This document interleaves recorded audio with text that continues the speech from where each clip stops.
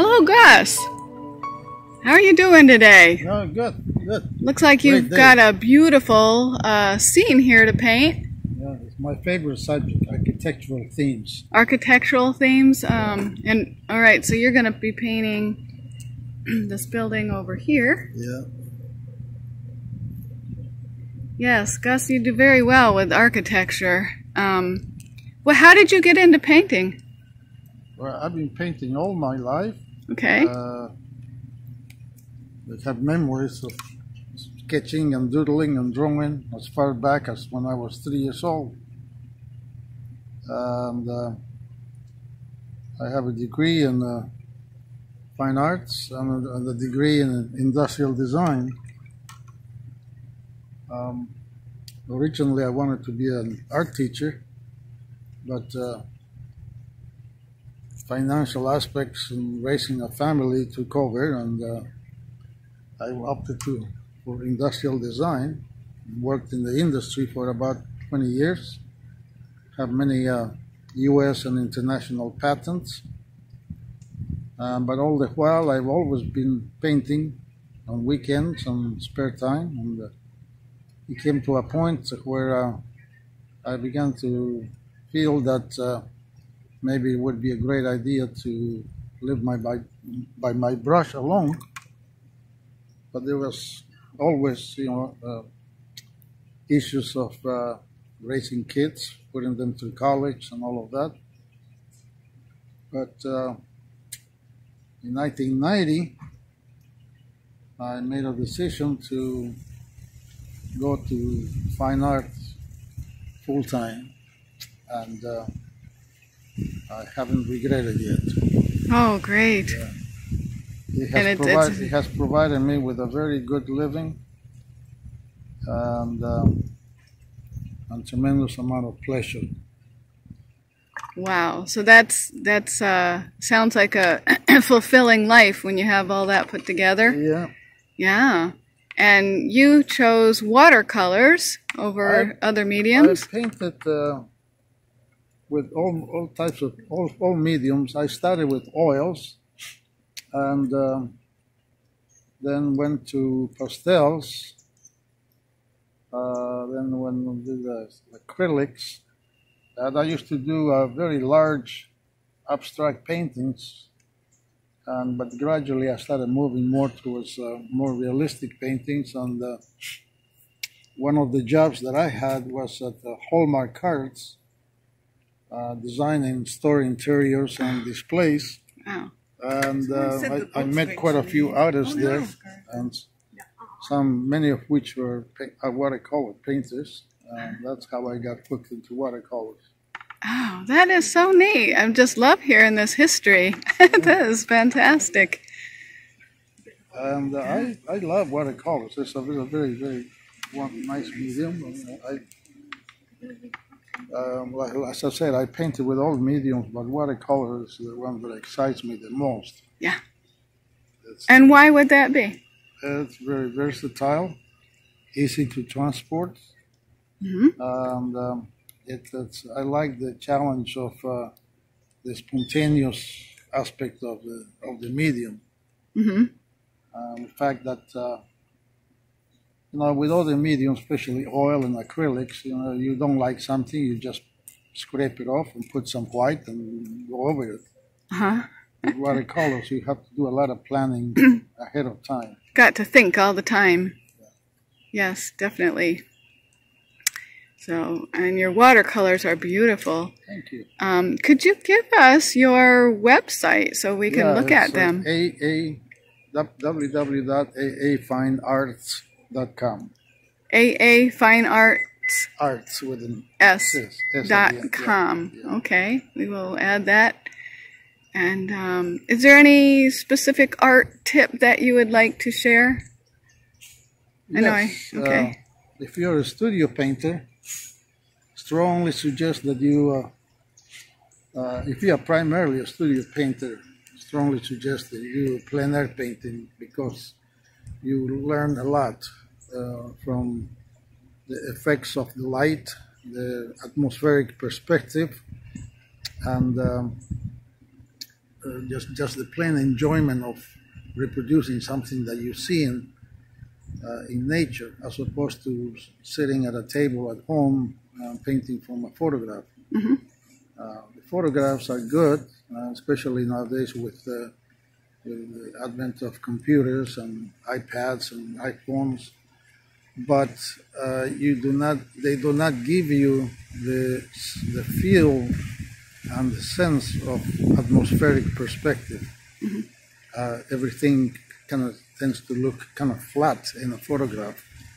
Uh, when you're painting in, from nature, it's an entirely different story. So. So much. Well, and I just love your, your setup here. Your colors Yeah, it's something stuff. I constructed myself. It's it's, it's a photographer's um, uh, is uh, tripod, Tripod? Mm-hmm. and then I built this other part from from odds and ends. And this part was given to me by Mark. You remember Mark? Yes. He moved to Wisconsin, Uh-huh. and it works really well. It sure does. Well, Yeah. Thank you. Thank you very much. Yep. I will check on your You're painting welcome. later. All right. Yeah. Yes, it is a beautiful day, isn't it? Yes. Yes, and I see you found a place along the river to paint. Yes. Can you tell me your name? My name is John Craegh. Uh, I'm from New York. Uh, I was an art and graphic artist teacher for 30 years. Um, now retired, now able to paint uh, full time. Uh, it's my first time out this season uh, with the group for the winter, for the fall. Uh, but I'm loving getting out. Isn't it Uh, wonderful? oh, yes. Yeah. yes. Good things happen when you get out of the studio. Yes, it does. Um, but I'm enjoying this. Uh, I'm down here full time, so uh, I'm trying to discover Florida. Uh-huh. Paint a completely different way, change the style, everything. So uh, it's again, it's been it's a lot of fun. Yes, that's great. And um, what have you got going here? You're Well, working with oils. Yes, uh, I, I blocked in. I uh, I'm a what they call a form painter. I paint in forms, so I block in my colors and my shapes to see, and I'm trying to start lively. Uh, my goal is to be very thin and very uh, uh, how I say spontaneous with the paint. Uh, show the brush strokes.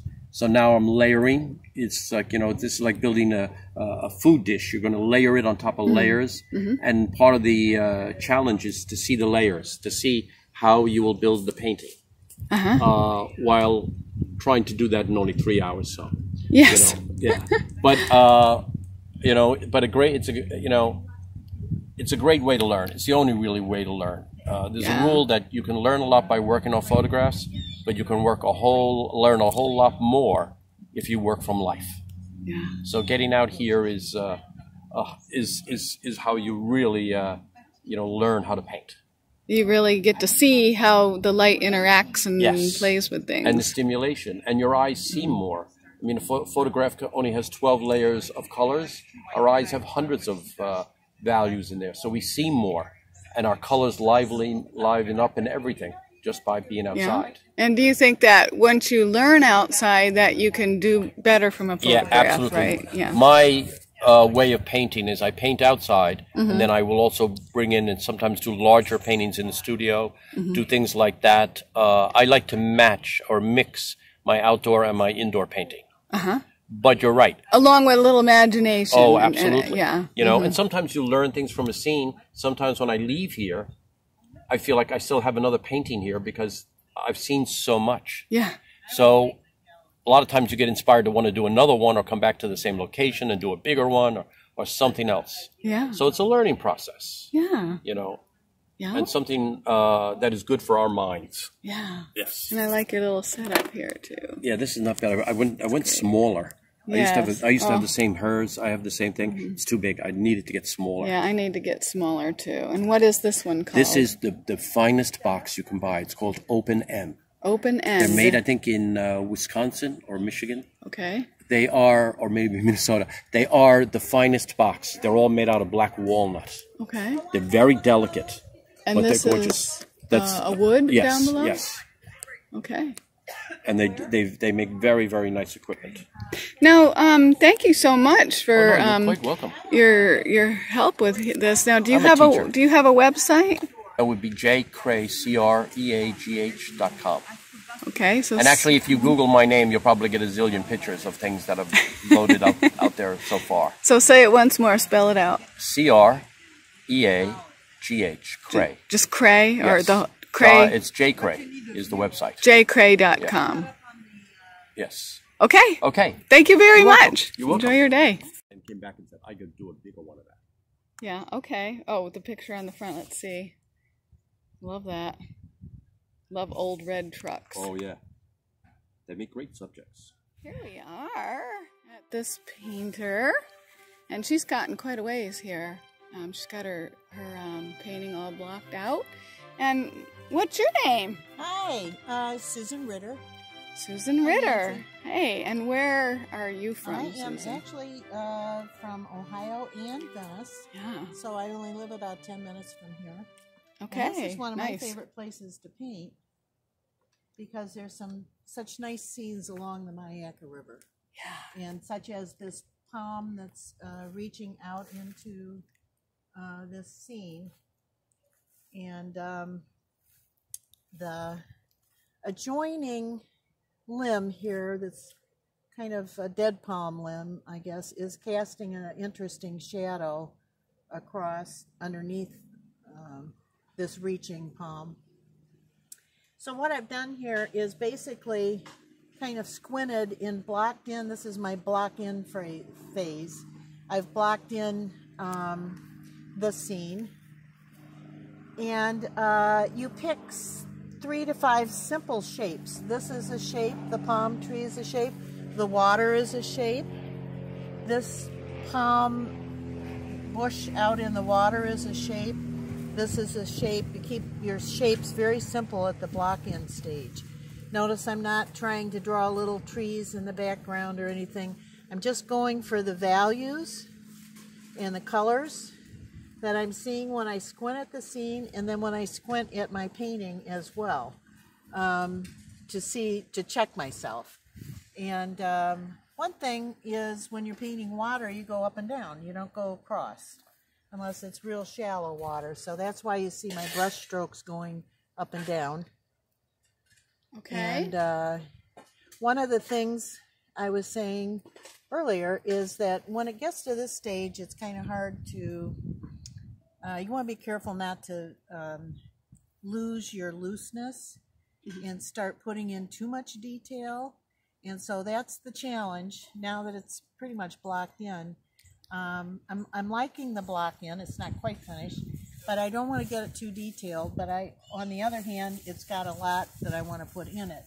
Um, what I'm especially looking forward to putting in it is the glisten, glistening or shine on the water. yeah. The mhm. sun. It's a beautiful day, so Oh I want to look at that capitalize on that nice, pretty blue water and those uh, dots out in the water, plus uh, the darks and the light greens of the palms.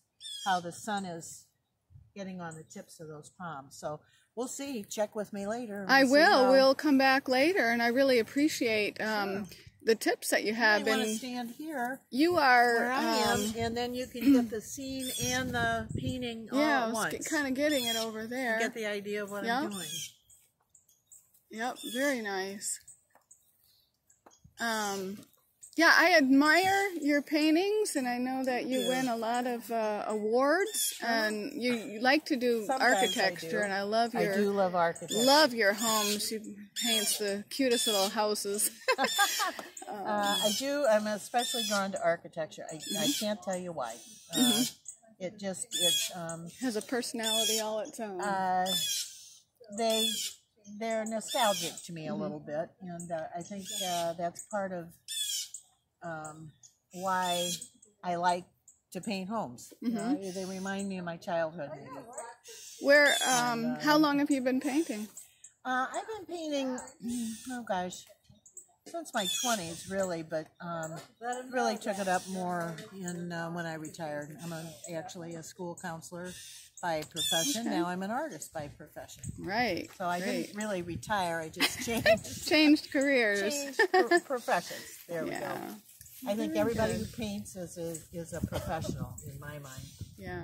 Oh, I heard. So you have a website, don't you? I do. It's Susan Bunce, B U N C E, Ritter susanfineart.com. Okay, Susan Bunce Ritter fineart.com. Okay, Right, we yeah. will put that down for Yeah. you. Actually, if you just Google Susan Ritter, it should come up too, Okay, thank you. because I know that's a mouthful. All righty, thanks. Uh huh. It's getting those brights in there. Florida foliage is tough. Yes, it is. Compared to to Oh. New York and Oh yeah, those trees are All a piece that. of cake after this. You know, Yeah. they- but that's the character down here. Mhm. You know, you got to learn how to paint a palm. yes, You know. But also sure too, the do. colors are different. They're a little livelier, a little Mm-hmm. more robust. So in that sense, you know, they're pretty good. when I was painting up in North Carolina, I had to figure out the mountains. I was asking a painting buddy up there, well, I can't figure out the color of the mountains. He said it's the ocean. It's like the ocean, you that's know. it. That's right. That's right. Blue. Oh, mountains are a piece of cake compared. to Although if you're in like the Smoky Mountains or the Blue Ridge, Yes, the Blue Ridge. Oh, was that's it. tough. Yeah, that was because tough. there's very subtle differences between the furthest and the, and the closest. Yeah, I remember like in Vermont and New York, there was almost like a purple hue, but in the Smokies, you have to think more blue. Yes. And but you but that's how you learn atmospheric effects hmm because you know your values and stuff like that. So they're a lot of fun. I've been up there. I I, uh, I did a lot of paintings up in the Smokies. Yeah, it's it's a lot of fun. A Yeah, that was that was a great trip. Yep. All right. Well, Okay. see you later. Yes.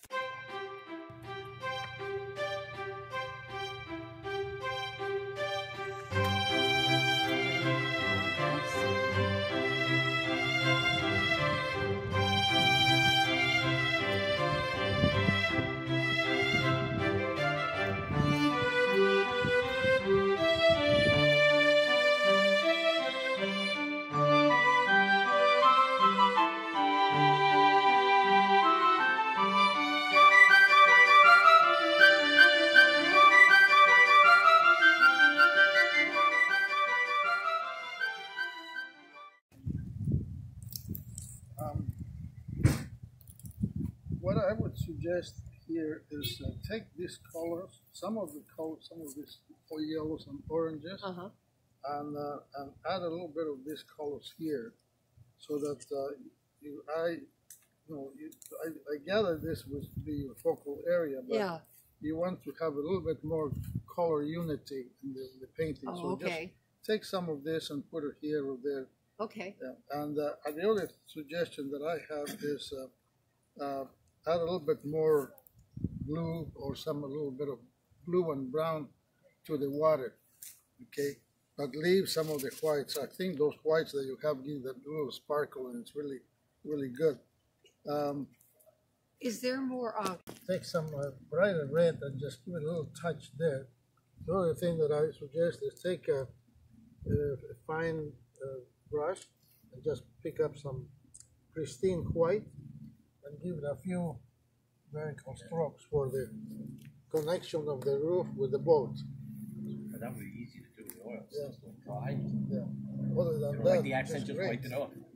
Nice job. Yeah, very nice. Nice, very nice. Has a nice atmosphere. Yep. Very pretty. Yeah, very good. Nice colors too throughout. Um, of course, is this you did a great job with the tree. The construction of the of the structure of the tree was really good. Um, you're not you're not finished, right? No. Okay.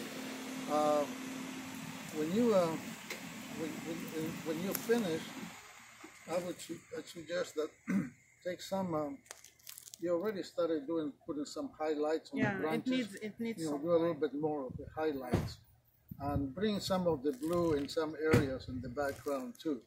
And uh, I, I know what you were trying to do here, but I would tone down, tone down some of that yellow in the in the in the, in the foliage. Just tone it down a little bit, not too much. Um.